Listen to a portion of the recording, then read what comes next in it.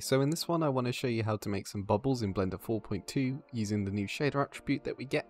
Um, these are going to be rendered in cycles, Eevee currently can't do anything like this, but this tutorial is going to be split up into three parts. First of all the geometry nodes for actually getting the uh, bubble distribution and the sort of floating up that we see, and then the second part is going to be shading of the bubbles, and the third is sort of the lighting, rendering and compositing.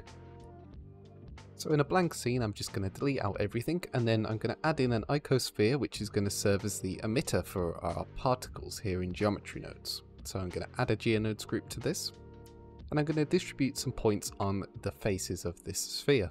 And these are going to be our particles that we're going to move up. Uh, first of all, though, I'm going to scale down the emitter in edit mode so that uh, we get less relative to the size of the sphere. And now I'm going to add in a simulation zone. And this is what's going to allow us to move these particles uh, every frame. Now I'm going to start off with the set position node. And I'm going to add the same set of nodes I always add for this. So we're going to set the position based on a named attribute. It's going to be a vector and it's our velocity attribute. We haven't made it yet, but I'm going to call it v. And then I'll plug that into a vector math add node and add the position. So this is just offsetting our position by the velocity every frame. I'll group this node group as well and call it update position. Now all we need to do is affect the velocity before that node group. So if I add a store named attribute node, call it v, and now I'll plug in named attribute, set that to vector as well, and also call that v. So now we're just passing the velocity through, and if I add a vector math in between, I can now add an acceleration. So I'll group this node group as well and drag that vector add into the input, call this accelerate. Now whatever value I put into this vector math node, the particles will accelerate by once per frame. So you can see how they sort of start slow and then slowly get faster. Now what I want to do is spawn particles every frame, so I'll add in a join geometry node and plug in our points back in there. Now in order to get some initial velocity, I'm actually going to duplicate this accelerate node group and put it right after we spawn the points. And this will sort of give the points a constant velocity rather than an acceleration, because the initial velocity will always be zero. Now in order to introduce some randomness to the uh, particles when they spawn, I'm actually going to give another accelerate node group uh, before we get into the simulation zone, and I'm going to plug in a noise texture with normalize unticked and I'll plug in the color and you can see what that does is spew the particles out in these random directions. But there's a problem in that they just go along these straight paths.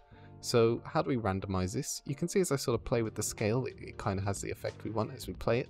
Now in order to randomize this every frame, what I'm going to do is set the noise texture to 4D and then plug in a scene time node. I'm going to use seconds actually into the W input that will just change the noise texture over time, so the direction that these particles go in once they spawn will change.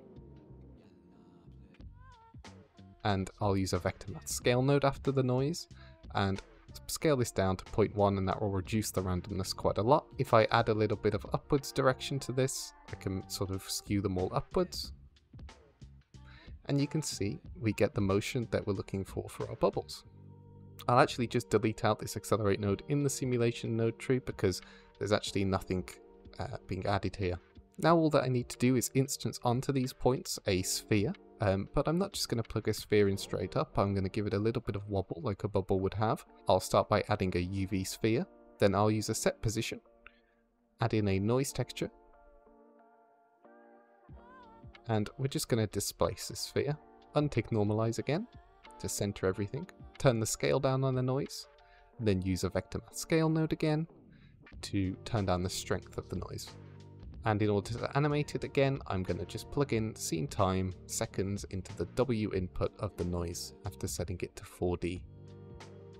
Now I'm going to use a subdivision surface node, followed by a set shade smooth, and you'll see what we get is now just this smooth sphere. Now all I want to do is just randomize the scale a little bit, so in the instance on points node, I'll plug in a random value into the scale. Now in order to control the scale just with one slider, I'm going to add in a math node after the random value, set it to multiply, and this will become sort of our uniform scaler. And then I'll play with the range on the random value to get some more extreme results. 0.1 to 2 seems to work good, and then I can play with this multiply value to globally scale them.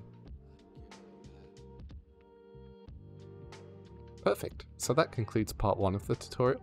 Now all we need to do is add in a set material node, create a bubbles material, and apply that there. Now over into the shading tab, I'm going to set the uh, render engine to cycles on the GPU, then go into rendered view. And to get some nice lighting, I'm going to come into the top right, turn off scene lights and scene world. And then I'll start by just turning transmission up on the shader to get a nice glass look and turn down roughness. Now you can see we're seeing quite a lot of noise from the HDR, so in under film I'm just going to turn on transparent and transparent glass. Now the new attribute that we get in Blender 4.2 underneath this new thin film section is thickness. And this imitates a very thin material. You can see the uh, depth is in nanometers there. So I'll increase this to 500 and you can see that we naturally get this really nice sort of refraction going on that would be quite difficult to do previously. To randomize this per bubble, I'm actually going to use an object info node, use the random result but I can't plug it straight into the thickness because uh, the values of the random output are from 0 to 1 and the values that we need in the thickness are somewhere in the realm of 500. So I'll set the map range node to somewhere um, like 400 to 600 and then we should get some nice natural color variation in the bubbles there. But that's really it for the shading of the bubbles. It's it's really simple in Blender 4.2 now. So I'm going to go back into the layout tab and start setting up our lights and camera. Now if I come into rendered view, you can see we don't have any lights yet. I'm going to light this using a HDR. So under the world tab, I'll pick an environment texture. And I'm just going to use one of the default ones that come with Blender, either this forest one, or I ended up using this interior HDR because I think it gave better lighting. Now I'll add in a camera and then camera to view and I'll render region just to speed things up a little bit, turn up the focal length and start framing my shot. I'm going to open up another 3D view and so I can start working on the depth of field. I'll toggle it on under the camera settings and then turn on limits under viewport display. Now wherever this crosshair is, is whatever will be in focus. And I'll place it somewhere in the center bubble. Now if I turn down the f-stop value and just maybe tweak it, you can see that we start to blur everything out that isn't that center bubble. I'll push the camera in a little bit more by increasing the focal length to 85. Now I'm going to start real-time compositing on this shot.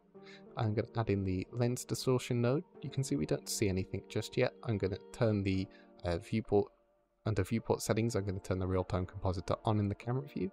And as I turn up distortion, you can see what we get. I'm going to also use an alpha over node to set the background color. Make sure I plug our render into the second input. And then I'm just going to use some other tricks like vignetting everything a little bit by using a, a mix color multiply with an ellipse mask And if I just set the ellipse mask to be the correct scale, see what that does. I just need to blur it a little bit.